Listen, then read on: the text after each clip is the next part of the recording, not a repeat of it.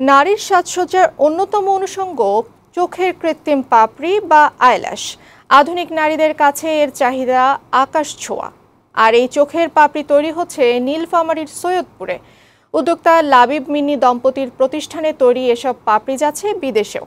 তাদের কারখানায় যেমন নারী পুরুষের কর্মসংস্থান হয়েছে, তেমনি আয় হচ্ছে বৈদেশিক মুদ্রা। নীলফামারী সংবাদদাতা ওয়ালি মাহমুদ সুমনের প্রতিবেদন। নীলফামারীর সৈয়দপুর শহরের নিমবাগান এলাকার মেয়ে মিন্নি আক্তার মিথুন। দুই হাজার বাইশ সালে সৈয়দপুরে এক অনুষ্ঠানে পরিচয় হয় চীনের নাগরিক নীল জুনুরাইয়ের সাথে। দুই হাজার তেইশ সালে আঠারো জুলাই ভালোবেসে বিয়ে করেন তারা। মুসলিম ধর্মগ্রহণ করে নীল জুনুরাই নিজের নাম রাখেন লাবিব ইসলাম।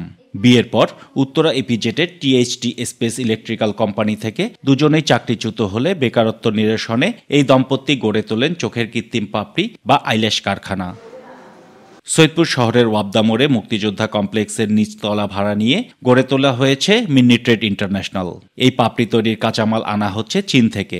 এসব পাপড়ি যাচ্ছে বিদেশে। আমরা চাচ্ছি এই আমাদের আইল্যাশ প্রস্তুতির মাধ্যমে আমরা বেকার নিরসন করব এবং নতুন নতুন শ্রমিকদেরকে আমরা প্রশিক্ষণের মাধ্যমে তাদের দক্ষ দক্ষ শ্রমিকে পরিণত করব। পরবর্তীতে আমাদের প্ল্যান আছে যে আমরা প্রায় তিনশো ওয়ার্কার এখানে নিয়োগ দিয়ে কাজ চালাবো এবং কাঁচামাল সংগ্রহ করে সম্পূর্ণ প্রোডাক্ট বাংলাদেশে বানাবো।